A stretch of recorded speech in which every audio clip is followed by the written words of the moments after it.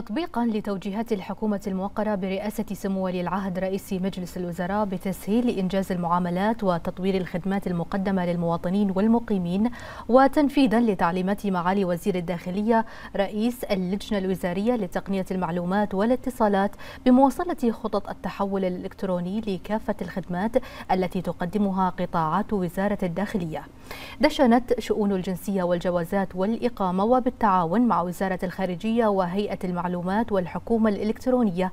دشنت خدمة إصدار تذاكر المرور لأبناء المواطنين البحرينيين المولودين خارج المملكة وجوازات المواطنين المفقودة أو التالفة في الخارج وذلك عبر البوابة الوطنية لمملكة البحرين. وحول هذا الموضوع يسرنا أن ينضم إلينا عبر الهاتف الشيخ هشام بن عبد الرحمن الخليفة وكيل وزارة الداخلية لشؤون الجنسية والجوازات والإقامة بوزارة الداخلية. أهلا بك آه، سعادة الشيخ. بداية حدثنا عن هذه الخدمة وتدشينها ويعني آه، وكيف يستفيد منها يعني آه، أبناء المواطنين البحرينيين المولودين في الخارج وكذلك أيضا فيما يخص الجوازات المفقودة.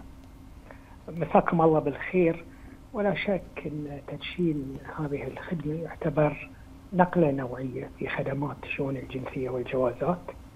وأنا سعيد اليوم في تدشين شؤون الجنسية والجوازات والإقامة بالتعاون مع وزارة الخارجية وهيئة المعلومات والحكومة الإلكترونية خدمة إصدار تذاكر المرور لأبناء المواطنين البحرينيين والمولودين خارج المملكة وجواز وجوازات المواطنين المفقودة أو التالفة في الخارج واللي بتكون متوفرة من خلال بحرين dot bh.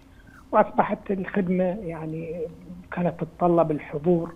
الآن الخدمة بتكون إلكترونية وسهلة وعلى مدار الساعة. كل اللي على المواطن هو إنه يرفع هذه المعلومات من خلال البحرين dot bh وإحنا نقوم بالإجراءات وتصدر له تذكرة المرور اللي تعتبر صالحة للاستخدام مباشرة فور استلامها. وتسهل عليه في عملية العودة والرجوع إلى مملكة البحرين وتختصر عليه الجهد والوقت.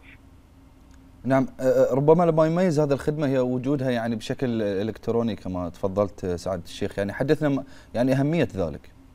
طبعا هذه إضافة جديدة وطبعا يعني في السابق الواحد إذا فقد جوازه وعنده مولود في الخارج اضطر يرجع إلى سفارته ويتابع إجراءاته وربما البلد اللي هو فيها ما فيها سفارة فعن طريق البحرين dot bh يرفع هذه المستندات ووفر عليه الجهد والوقت لانها يحصل على الإجابة سريعة وأول ما يستلم هذه التذكرة يعني أيضا في خاصية ضفنا فيها الاستعلام عن حالة الطلب يقدر يتأكد ويستلمها بأسرع وقت ممكن ووفر عليه الجهد والتعب.